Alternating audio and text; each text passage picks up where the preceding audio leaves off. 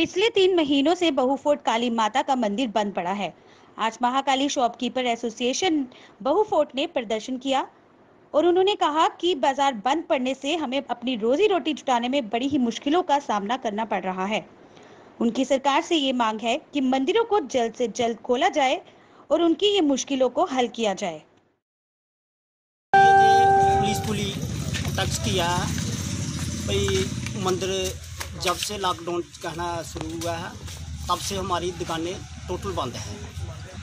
अभी तक हमारी तरफ़ किसी ने कोई ध्यान नहीं दिया, कोई कुछ नहीं दिया तो दुकानें हमारी काफ़ी नुकसान हो चुका है।